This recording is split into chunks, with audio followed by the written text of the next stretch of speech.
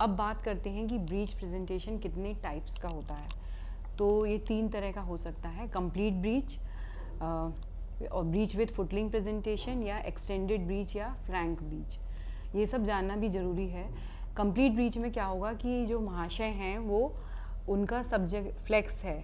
जो थाई है, वहाँ से पैर फ्लेक्स हैं, और जो नीज़ हैं, वो भी अपनी जगह से फ्लेक्स हैं तो जब डॉक्टर इंटरनल एग्जामिनेशन करेंगे तो उनको बच्चे की दोनों बटक्स मिलेंगे और जो उसकी एक्सटर्नल जेनिटीलिया होगी, जो मेल फीमेल जो पार्ट है वो मिलेगा और दोनों फुट मिलेंगे बच्चे के, क्योंकि वो कंप्लीट या फ्लेक्स ब्रीच जिसे हम कहते हैं। दूसरा है एक्सटेंडेड ब्रीच या फ्रैंक ब्रीच उसमें क्या है कि बच्चे के पैर पूरे एक्सटेंडेड हैं नी से, लेकिन वो थाइज से थोड़ा सा थाइज से फ्लेक्सड हैं।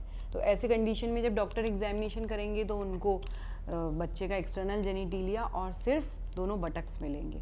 और तीसरी है कि फुटलिंग फुटलिंग में क्या है कि बच्चा जो है पूरा सीधा ही खड़ा हुआ है और उसके फुट एग्जामिनेशन करने पे, यानी कि जो उसके पैर के तलुए हैं, वो एग्जामिनेशन में डॉक्टर को मिलेंगे। तो ये बहुत रिस्की कंडीशन हो सकती है क्योंकि जब बच्चा पूरा एक्सटेंडेड है, उसके पैर बिल्कुल सीधे हैं, मुड़े ही नहीं है। नॉर्मली बच्चा जो है इस तरह से फ्लेक्स रहता है।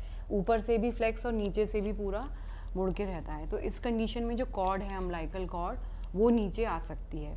तो जब अम्लाइकल कॉर्ड अगर ऑस से बाहर आ जाए तो वो बेबी के लिए काफ़ी खतरे का निशान हो सकता है, क्योंकि उससे बेबी को हमें ऐसी कंडीशन में विद इन फाइव मिनट्स या तुरंत की तुरंत सिजेरियन भी करना पड़ सकता है, अगर बच्चा पूरी तरह डेवलप्ड है, वरना बच्चे को हाइपोक्सिया और ऑक्सीजन की कमी होते हुए देर नहीं लगती है।